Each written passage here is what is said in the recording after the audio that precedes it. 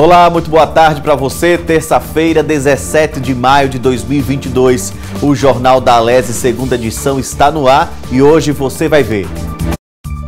Dia de sessão plenária na Assembleia Legislativa de Sergipe a deputada Maria Mendonça usa a tribuna para falar sobre a valorização dos assistentes sociais. Lei estadual aprovada na Alese reforça a importância da doação do leite materno. Veja também, professor Benar Charlot recebe título de cidadão sergipano. E a programação de cursos da Escola do Legislativo Estadual com a agência de notícias Alese. Estes e outros assuntos você acompanha a partir de agora no JA Segunda Edição, que está só começando.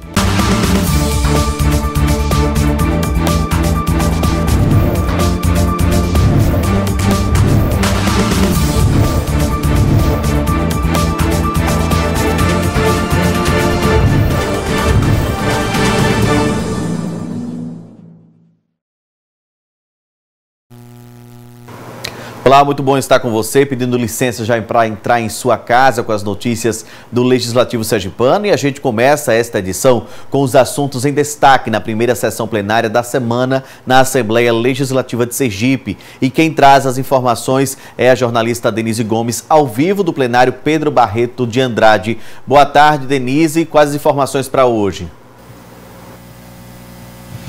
Olá, Tiago. Boa tarde para você, boa tarde a todos. É hoje a sessão plenária aqui na LES, ela foi marcada pela realização do pequeno expediente no plenário, onde nove deputados estaduais se pronunciaram, alguns fizeram uso da palavra na tribuna, outros se manifestaram dos seus lugares mesmo aqui no plenário da Assembleia Legislativa de Sergipe. Esses nove, eles externaram então os parabéns pelos 47 anos de história da TV Atalaia celebrados hoje, dia 17 de maio. Além de externar essas felicitações, a deputada Maria Mendonça, ela fez uso da tribuna e também destacou a luta por valorização profissional dos assistentes sociais. Ela ressaltou a importância dessa categoria e dos serviços que são prestados à sociedade sergipana e também ressaltou a necessidade da aprovação de um piso salarial para a a valorização desses assistentes sociais. Vamos acompanhar. O assistente social, ele desempenha um papel extraordinário e extremamente fundamental na sociedade. É, e nesse momento pandêmico, óbvio que a Covid-19 ainda não acabou. E, e aí eles foram importantíssimos esses profissionais, eles milhares de famílias naquele momento de isolamento social, de desespero, eles foram acolhidos pelos assistentes sociais. Então, no último domingo comemorou-se o Dia do Assistente Social. Eu acho que não, eles não tiveram o que comemorar, é lamentável. É um dia de luta, mas eles precisam continuar lutando para a garantia de seus direitos. Sabemos que essa carreira, ao longo dos anos, ela foi desmontada e é preciso ser reconstruída e garantir a esses profissionais, é, aos seus familiares, vida digna. Feira, às oito e meia da manhã, aqui no plenário da Assembleia Legislativa de Sergipe, será realizada uma palestra destacando a luta por valorização profissional dos assistentes sociais. Essa é uma iniciativa do deputado estadual Irã Barbosa e será realizada em alusão ao Dia do Assistente Social, celebrado em 15 de maio. É isso, Tiago. Eu fico por aqui. Essas são as informações de hoje. Uma boa tarde para você e boa tarde a todos. Boa tarde, Denise. Muito obrigado pela participação e pelas informações. O estado de Sergipe possui uma lei que institui a semana da doação do leite humano. O objetivo é intensificar as ações de doação, principalmente para recém-nascidos da UTI neonatal. O texto é de autoria da deputada estadual Gorete Reis. Durante todo o ano, o Banco de Leite de Sergipe faz campanhas pedindo doação de leite. No entanto, no mês de maio, a campanha se intensifica. Isso porque, através de uma lei de autoria da deputada Gorete Reis, Sergipe tem uma semana estadual de doação de leite humano, que vai de 19 a 25 de maio. A gerente do Banco de Leite do Estado, Magda Dória, falou sobre a importância das doações. A Rede Brasileira de Bancos de Leite, ela orienta para a gente, é uma, é uma campanha mundial que a gente sabe que o leite humano é o leite que salva vidas, então a rede sergipana, que é composta pelo Banco de Leite Itabaiana, o Banco de Leite de Lagarto, o Posto de de São Isabel e o Marley Sarney, que é referente estadual, a rede sergipana, junto com a Secretaria de Estado, a gente tem uma, o compromisso de justamente no mês de maio fazer a campanha justamente de divulgação para que a gente possa aumentar a captação de leite humano. Atualmente, o estoque não contempla nem 50% da necessidade das maternidades que recebem as doações. O Banco de Leite busca facilitar para as doadoras. A mãe que quer doar leite, ela percebe que ela amamenta o bebê dela e ela ainda é, é, percebe um excesso de leite, é, ela vai ligar para a gente. Essa mãe não tem trabalho de sair de casa é, porque ela está no resguardo, a gente precisa cuidar dela também, né? Ela se sentir cuidada. Então ela liga para a gente, a gente vai fazer entrevista por telefone, ela vai mandar os exames pelo WhatsApp. Então a equipe toda, a equipe vai avaliar tudo isso e vai o motorista com auxiliar de enfermagem na casa dela levar os frascos e coloca uma rotina. Se é, cada bairro tem um dia de, de coleta, né? Então hoje mesmo é a área da praia. Então a mãe que está de primeira vez hoje na praia, a gente entrega o frasco. Na próxima sexta-feira a gente vai pegar o leite, sim, faz uma rotina. 500 ml de leite é capaz de alimentar cerca de 10 recém-nascidos. O leite humano é o melhor alimento para os bebês, principalmente os que nascem abaixo do peso e precisam ficar internados na UTI neonatal. O leite materno, ele é completo, né? Então ele é um leite que realmente vai fornecer todos os sais minerais que o bebê precisa, as proteínas, né? A proteína do leite materno é de mais fácil digestibilidade, né? Então fica mais fácil para a recuperação do bebê que está na UTI neonatal. A quantidade de, de gordura dele também é importante, a quantidade de açúcar que o leite contém e ele acaba sendo completo para a melhor recuperação desse bebê que está na UTI natal. Esse bebê que está na UTI natal, ele está precisando também ganhar peso. Então, além de melhorar o sistema imunológico dele, também precisa recuperação de peso. Então, esse leite realmente é mais completo, né, de melhor absorção para esse bebê, para a sua recuperação na UTI. Com certeza, o leite materno é o alimento mais completo que um bebê pode receber desde o seu nascimento. E o ato de amamentar aumenta o laço afetivo entre mãe e filho, com grandes benefícios para os dois. Sobre a importância da amamentação, eu converso agora com o pediatra Ricardo Gurgel. Doutor Ricardo, seja muito bem-vindo ao Jornal da Lese, segunda edição. Muito bom recebê-lo aqui para tratar de um assunto que o senhor costuma falar diariamente, né? Que é sobre crianças, a saúde das crianças. A amamentação é considerada, inclusive, a primeira vacina do bebê, não é isso? Boa tarde. Boa tarde. É, realmente, é, nós pediatras temos uma. damos sempre uma ênfase muito, muito grande em que as pessoas amamentem, as mães amamentem seus filhos, que eles sejam amamentados de forma exclusiva nos primeiros seis meses, depois com as complementações, mas que seja uma, é, um, algo corriqueiro na vida de todas as famílias, a amamentação como sendo uma fonte de saúde de proteção para as crianças. Né? Doutor Ricardo, os nutrientes né, que estão lá dentro do leite materno, sem dúvida nenhuma, ajudam no desenvolvimento da criança sobre diversos aspectos, né? Isso, gostaria que o senhor falasse um pouco mais sobre essa questão. Na verdade, né, o leite materno é feito e adaptado, é criado para nutrir crianças nessa faixa etária. Inclusive, existe adaptação que o próprio organismo faz e quando o neném nasce prematuro. O leite materno do prematuro é um pouco diferente do daquela criança que nasceu a termo, para que a mãe que teve o neném prematuro possa nutrir melhor a, a sua criança. Então, isso é uma coisa muito importante. E é um leite totalmente balanceado na, nas diversas. É, é, é, é dos diversos itens que, que alimentam a pessoa, lipídios, hidrato de carbono, proteína, e tem as diversas substâncias que são metabolicamente muito importantes, que vão desde as imunoglobulinas e as substâncias de defesa que passam da mãe para o neném, como outros nutrientes que são em, em, menor quantidade, mas de igual importância, que estão contidos no, no, no, leite materno e que vão fazer com que a criança cresça de forma mais é, saudável e estarem estando mais protegidos. Né?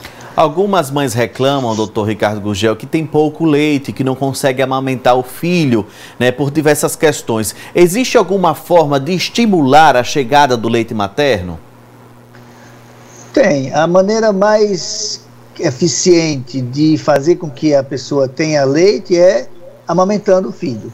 O estímulo da sucção do neném no seio é que estimula os mecanismos hormonais que fazem com que o leite seja produzido.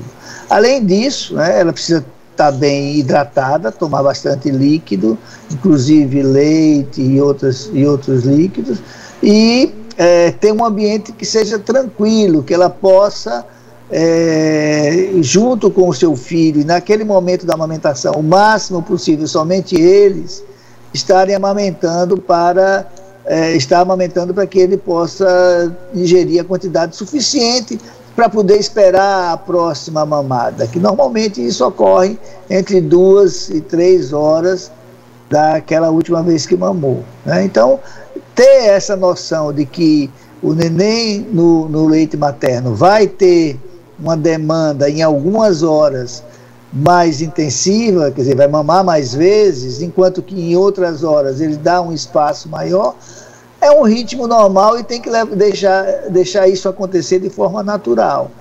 E lembrar também que nem toda vez que o neném chora e reclama, se tem pouco tempo que ele mamou, isso não é, não é necessariamente fome, né?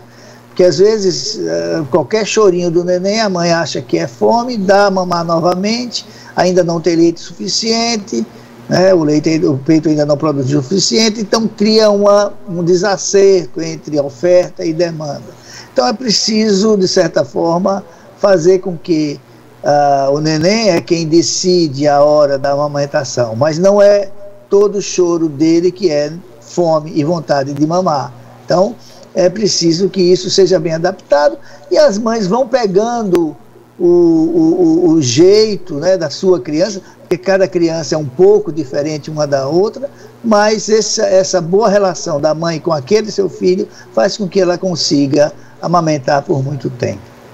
Doutor Ricardo, existe uma questão que muitas mães comentam, né, conversam entre si, que é com relação à alimentação que a mãe deve ter para ter um leite mais saudável. Né, o comportamento dessa mãe diante a questões voltadas ao dia a dia. E aí a gente fala também da ingestão de alimentos mais gordurosos, alimentos que são mais calóricos, até mesmo a questão da ingestão, ingestão de bebidas alcoólicas enquanto está mamando, o uso de medicamentos. Então, o que o senhor diz em relação a isso? Né? Porque tudo que a criança está se alimentando do leite materno é um reflexo do que a mãe ingere, não é isso? Exatamente. Então, assim, bebida alcoólica, não. Né? Se está amamentando, não deve beber. Isso é, é uma regra muito importante. Os alimentos que ela ingere também vão refletir na composição do seu leite. Então, assim, as comidas muito gordurosas e que são muito condimentadas, que tem muitos temperos artificiais, né, condimentos, essas devem ser evitadas, né, porque isso naturalmente vai poderá aparecer no leite materno e vai é, fazer com que a criança possa, inclusive, ter mais cólica, possa reclamar mais, pela, pode até dar, de certa forma, é, diarreia. Então, assim, uma alimentação saudável, com alimentos é, é, é com proteína em quantidade suficiente, mas não gordurosa, com hidrato de carbono proporcionalmente é, à quantidade de proteína que ele come e com lipídios, de certa forma, é, não muito exagerados, somente um pouco para poder é, fazer parte da composição da dieta, né? E não ser predominante. Então, fazendo assim, as comidas, as proteínas, as carnes grelhadas com ah, que pode ser carne de vaca, frango, peixe, né? É, e o, o, os outros alimentos acompanhando, isso de certa forma, muita fruta, muita verdura, isso sem dúvida nenhuma vai fazer uma alimentação saudável que vai fazer bem para o neném. Doutor Ricardo, muito obrigado pela participação. Tivemos aí uma pequena aula de como né, cuidar do leite materno e passar isso para a criança da melhor forma possível e dizer, claro, que é o principal alimento do bebê, principalmente nesses seis primeiros meses de vida. Muito obrigado, doutor Ricardo, pela participação. A TV Alé é sempre à disposição do senhor também, viu? Valeu, obrigado, viu? Até logo. Obrigado. Em instantes, professor francês recebe título de cidadania sergipana e a programação de cursos da Escola do Legislativo Estadual. A gente volta já.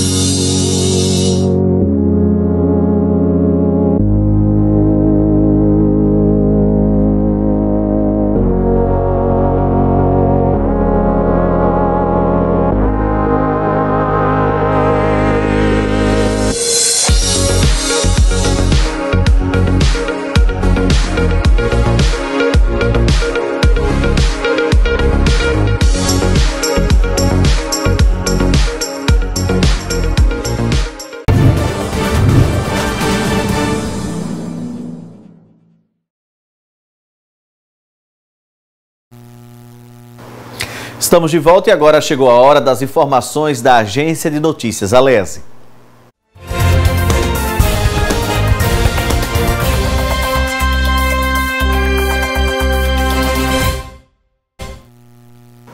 Hoje o jornalista Júnior Matos traz para a gente a programação de cursos da Escola do Legislativo. Boa tarde, Júnior. Conta para a gente. Eu sei que a Elese tem uma gama aí de cursos sendo realizados não só aqui na própria sede, mas também no interior do estado.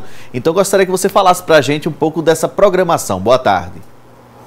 Muito boa tarde, Tiago. Muito boa tarde para você que nos acompanha. Tiago, como você mesmo disse, a gente está com uma diversa gama de, de cursos, oficinas aí promovidas pela Escola do Legislativo, deputado João Seixas Dória. E eu vou trazer informação de dois cursos que vão acontecer durante o final desse mês. O primeiro é o curso é, voltado para a elaboração de leis, é, trazendo adaptações, né?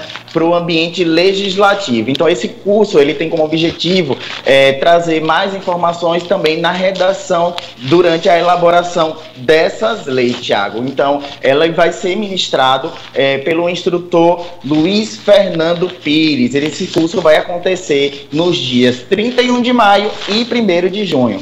Já no dia 1 de junho e 2 também vão acontecer os, uma oficina que ela é voltada para aprimoramento é, das casas legislativas. Ele tem como objetivo é, trazer mais informações, trazer também mais capacitação para os servidores das casas legislativas, é, tanto aqui da Assembleia Legislativa como as, ca as casas legislativas, né, as câmaras municipais que estão aí em parceria com a LESE através do projeto Conecta. Então, Tá aí uma boa dica para vocês que são servidores do Legislativo participarem desses cursos. Vale lembrar, Tiago, que cada um desses cursos tem a carga horária de 12 horas aula e vai acontecer de forma presencial. Lá em nosso site tem uma matéria que traz mais informações sobre os assuntos, no caso sobre os dois cursos, e também links que levam você diretamente para o ato da inscrição. Para esses e outros assuntos, Tiago, tem muita informação lá no nosso site, o al.se.lec.br. Também tem informação sobre o Parlamento Sergipano, inclusive detalhes da sessão de hoje, lá também nas nossas redes sociais, no Facebook e no Twitter, arroba Assembleia SE, já no Instagram, Tiago, arroba Assembleia Sergipe. Eu volto com você no estúdio, lembrando que tem agência de notícias amanhã no Jornal da Lese, primeira edição. Ok, Júnior, muito obrigado, parabéns pelo trabalho da agência, viu? Agentes de saúde e endemias de dois municípios da Grande Aracaju fizeram uma visita ao deputado Zezil Sobral, líder do governo na Lese. Eles trataram sobre políticas públicas para a categoria. Os agentes de saúde e endemias dos municípios de São Cristóvão e Barra dos Coqueiros foram recebidos pelo deputado estadual Zezinho Sobral, do PDT, no gabinete dele na manhã desta segunda-feira. A visita teve como foco debater políticas públicas para o avanço da categoria no desempenho de suas funções junto à sociedade sergipana. Importantes na promoção da saúde e combate às endemias, os profissionais encaram inúmeros desafios na rotina de trabalho. Por ser um profissional que está na ponta, dificilmente ele é visto tão, não, seja, não chega a ser tão destacado quanto o médico, a ação do médico, do enfermeiro. Mas esses profissionais que atuam de casa em casa, fazendo um trabalho de saúde diferenciado, que ninguém vê, mas que vai atingir diretamente lá em cima, nos indicadores de saúde, na redução, por exemplo, no nível de atendimento hospitalar. Então a gente consegue resolver isso na atenção básica, porque nós prestamos um cuidado de orientação ao paciente quanto ao acesso à unidade de saúde, à forma de se alimentar. Nós estamos vendo as necessidades reais da população. Os agentes destacaram que além de promover saúde, a categoria tem um papel essencial no monitoramento e combate às endemias. A gente sentiu a dificuldade. Nós entramos no meio da pandemia, vai fazer um ano agora que eu estou trabalhando lá, e tivemos essas mesmas dificuldades do agente de saúde. Até porque nós somos uma categoria só, a gente faz essa busca ativa, a gente faz as visitas também. E a gente teve essa mesma dificuldade, pessoas que não deixavam a gente entrar nas casas, a gente tinha que fazer a visita do lado de fora, mas com todo carinho, com todo, com todo zelo pela população, porque é, eu sempre digo aos meninos que a nossa profissão é essa. Quando a gente se dispõe a ser agente de saúde e agente de endemias, a gente vai cuidar, zelar pela saúde daquela população onde a gente trabalha, daquela re região. A busca por apoio da Casa Legislativa se faz necessária, segundo a categoria, para chamar a atenção dos gestores públicos quanto à necessidade do fornecimento de equipamentos de proteção individual, que por vezes os agentes não têm acesso em seus municípios. EPI, nós trabalhamos lá tem oito meses, a gente não tem bota, a gente não tem é, luva, nós não temos, não, a gente só tem uma farda que ganhamos lá de pessoas que saíram e, ó, oh, toma, eu tenho uma farda aqui para você. Até a gente tem até essa dificuldade, que a gente chega na porta do morador, o morador diz identificação, crachá, farda, e a gente não tem. E essas dificuldades são impostas pelo gestor.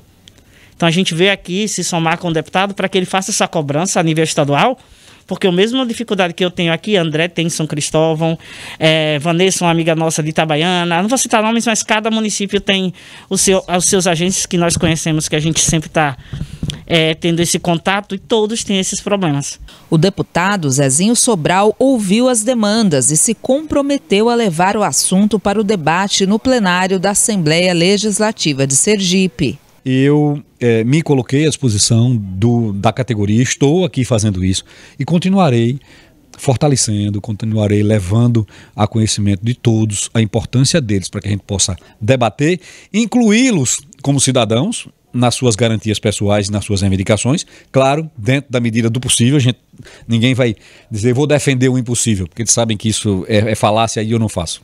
Só digo aquilo que eu entendo que seja possível. Defender as condições de trabalho, porque isso que é importante estratégico, porque eles são importantes estratégicos, e a sua participação na formulação de políticas públicas. Eu entendo que essa é uma, uma participação e um compromisso que eu assumir com a categoria e que vou assumir com a sociedade sergipana, porque sei que estou contribuindo com a melhoria da qualidade da saúde do povo do meu estado e do meu país. O professor francês Bernard Charlot recebeu ontem a cidadania sergipana. A entrega do título aconteceu no gabinete da presidência da Assembleia Legislativa de Sergipe. Bernard Jean Jacques Charlot Nasceu em 1944 na França. Formou-se em filosofia em 1967 e, dois anos depois, iniciou sua carreira como professor de ciências da educação na Universidade de Tunis, na Tunísia. Autor de 22 livros, numerosos capítulos, artigos, relatórios, publicados ou traduzidos em 18 países, Bernard Charlot é considerado um expoente da educação contemporânea. Há 19 anos, o professor decidiu fixar sua família e seu trabalho aqui, em nosso estado. Desde então, vem dando importante contribuição na área da educação em Sergipe, motivo que levou a deputada Gorete Reis propor a honraria. Quando a gente vê o currículo do professor Bernardo, a gente fica assim encantado de ver quanto que ele tem de conhecimento, quanto que ele tem contribuído na educação, na pós-graduação, nas graduações aqui dentro do nosso estado, que relevância que ele tem dentro da área de pesquisa também, né, aqui com jovens, fazendo todo um estudo, todo um levantamento do futuro, né, que são esses jovens. Então tem muito a contribuir, é uma grande honra, né, para nós aqui dessa casa, eu como autora dessa propositura, é poder, né, realmente estar nessa tarde entregando esse título de cidadão cidadão sergipano, porque ele já tem contribuído muito, tem muito serviço prestado dentro do nosso estado. A entrega da honraria pela Assembleia Legislativa de Sergipe foi comandada pelo presidente, o deputado estadual Luciano Bispo, e acompanhada por autoridades, parentes, familiares e amigos do homenageado, que se disse muito feliz com o reconhecimento. Bom, é sempre importante ser reconhecido pelas autoridades que representam o povo, como dizer, hein? lá onde se vive, lá onde se, se trabalha. Bom, é, portanto, uma honra, bom, é, é um prazer. Bom, e isso significa também que sou reconhecido pelo trabalho que eu fiz na área da, da educação e da, da, da juventude, que, que é o futuro de Sergipe. Portanto, é mesmo um prazer. Para o conselheiro aposentado do Tribunal de Contas do Estado, Carlos Alberto Sobral de Souza, um importante reconhecimento a quem ajuda a mudar a perspectiva da sociedade a partir da educação. A educação é o ápice da vida social. Se você não tem educação, conhecimento, você é um pobre Cristo, porque não sabe nem dos seus direitos, de suas qualidades. É uma pessoa é, descaracterizada por falta de conhecimento, de saber. E o professor Charlot é um dos faróis que ilumina o seu alunato. Então, mais do que justo que a Assembleia difira ele como diferiu hoje, título de cidadão sergipano. Parabéns à Assembleia e parabéns ao professor Charlot. Para quem teve a oportunidade de conviver com o professor a entrega foi justa e emocionante, pela importância do trabalho que vem sendo realizado em Sergipe, graças ao jeito simples e cativante de Bernard Charlot. Ele tem uma simpatia singular, né, como todos puderam ver, mas tem uma grandiosa contribuição na área da filosofia, na área da educação, perpassando não só pela França, né, de onde ele nasce, mas abrindo aí também as portas do conhecimento para mais de 18 países. E eu tive a alegria, né, de estar como aluna na UFS e ter o prazer, né, de participar das aulas do professor professor Bernard. Eu me sinto muito honrada em participar, em ser colega de trabalho do Bernard desde dos 19 anos que ele está aqui em Sergipe. Né? Eu me sinto muito gratificada como sergipana que sou também, né? É, essa promoção e esse reconhecimento do Estado de, da, Câmara, da Assembleia Legislativa né? em relação a esse título ao Bernard. A gente fica por aqui, outras notícias você confere a qualquer momento na nossa programação. Você pode seguir também as nossas redes sociais, no Face Instagram, arroba TV Alese 5.2, no Twitter, arroba TV Alese, no QR Code aqui na tela, você vai direto pro nosso canal no YouTube. Uma excelente tarde para você, volta amanhã com muito mais informação. Até lá!